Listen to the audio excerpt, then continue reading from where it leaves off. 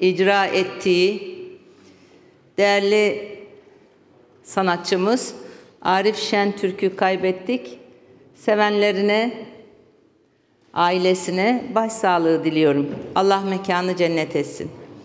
Biliyorsunuz geçtiğimiz hafta sonu Sayın Kılıçdaroğlu'nun ev sahipliğinde Ankara'da yaptığımız toplantı ülke gündemine oturdu. Toplantımız büyük bir heyecan yarattı. Bu heyecanın sebebi son derece açık ve nettir. Milletimiz artık ortak akıl için bir araya gelebilen, milletin ve memleketin meselelerini birbiriyle konuşabilen siyasetçiler istiyor.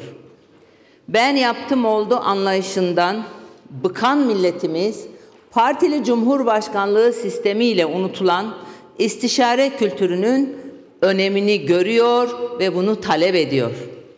Gerek kurumsal anlamda gerekse de fikren farklılaş, farklılaştıkları noktalar olsa da altı siyasi parti liderinin memleket meseleleri için bir araya gelmesi önemlidir. Bu toplantı nedeniyle Cumhur İttifakı'nın bileşenlerini bir garip rahatsızlık almış gibi görünse de biz İyi Parti olarak bu toplantıyı önemli bir başlangıç olarak görüyoruz. Çünkü ortak aklın ışığında sorunları ve çözümleri konuşabilmeyi hem çağın hem de aklın gereği olarak görüyoruz.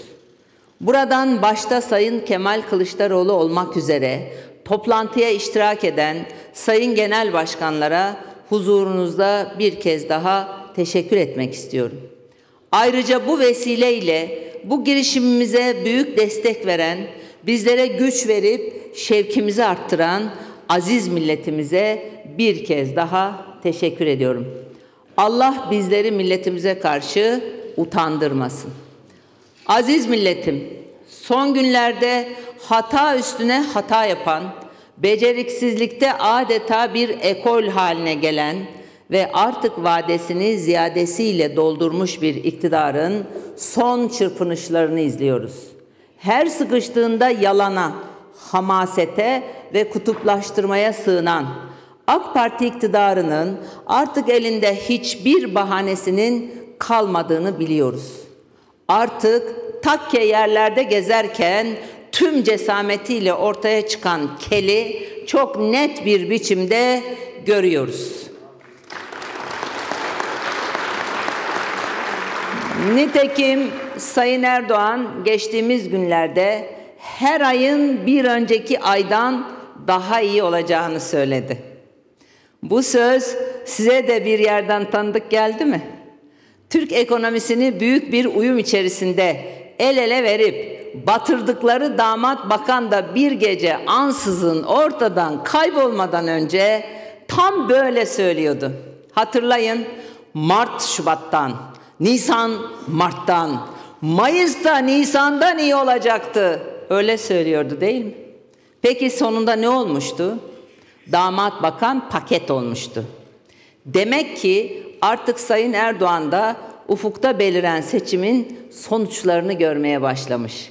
Demek ki damadıyla aynı yolun, aynı yolun yolcusu olduklarını artık kendisi de anlamış. Ne diyelim? Geç gelen bu farkındalıktan ötürü kendisini kutluyorum. Ama bu farkındalık göklerden gelen o kutlu kararı değiştirmeyecek. Çünkü ok yaydan çıkalı çok oldu. Çünkü yıllardır milletimize anlattıkları masallar, tutmadıkları sözler, beceremedikleri vaatler artık gün gibi ortaya çıktı. Yalanların son kullanma tarihi geçti.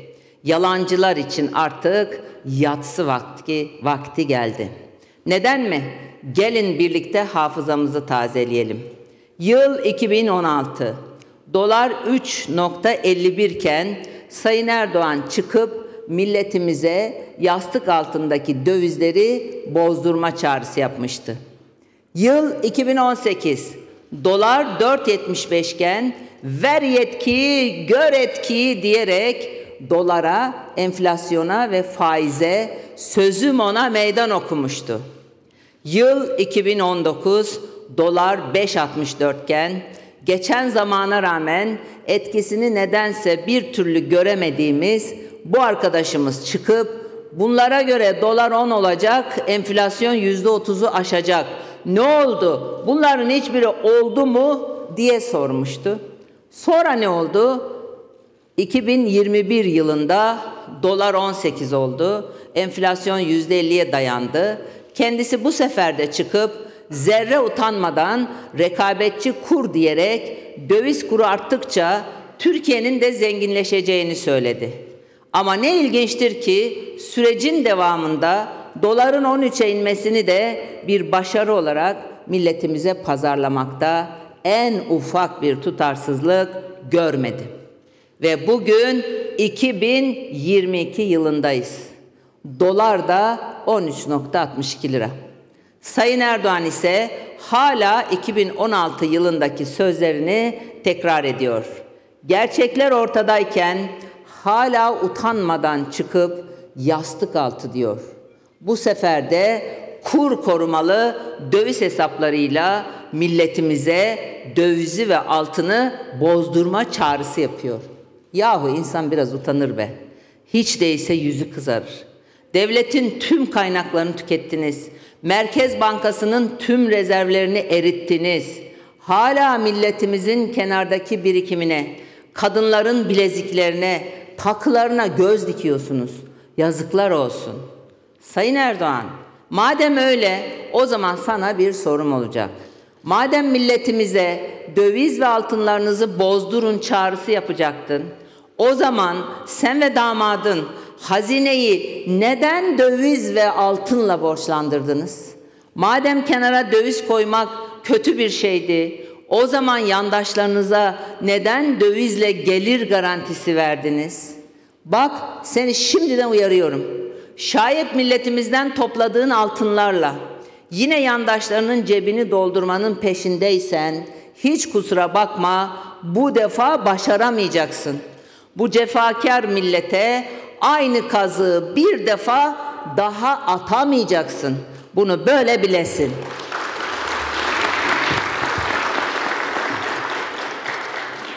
Aziz milletim, AK Parti'nin Türkiye'sinde üniversite mezunu gençlerimiz teknoloji şirketlerinde çalışacaklarına, kendi girişimleriyle uğraşacaklarına ne yazık ki motokuryelik yapmak zorunda kalıyor. AK Parti sayesinde Türkiye dünyanın en eğitimli motokurye ağına sahip oldu. Bu gençlerimiz kar kış demeden kelle koltukta çalışıyorlar. Günde birkaç paket fazla teslim edebilmek için can güvenlikleri olmadan çalışıyorlar. Pandemiyle birlikte e-ticaret şirketleri karlarını katladılar. Ama maalesef bu iyileşme kuryelerin çalışma şartlarına yansımadı. Motokuryeler kadrosuz bir şekilde çalıştırılıyor. Sağlık sigortaları yok, yasal güvenceleri yok. Modern dünyada hiçbir şirketin ürün depomdan çıktıktan sonrası beni ilgilendirmez deme lüksü yoktur. Modern dünyada büyük şirketler sadece kendi operasyonlarından değil, çalıştıkları üçüncü partilerin işleyişinden de sorumludurlar. Kurye taşımacılığı e-ticaret operasyonlarının bir parçasıdır.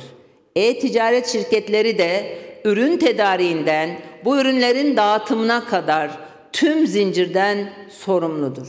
Bu yüzden derhal bu konuda bir hukuki standart getirilmesi ve kar, karın tokluğuna çalışan kurye kardeşlerimize sigortalı ve güvenceli çalışma hakkı tanınması gerekiyor.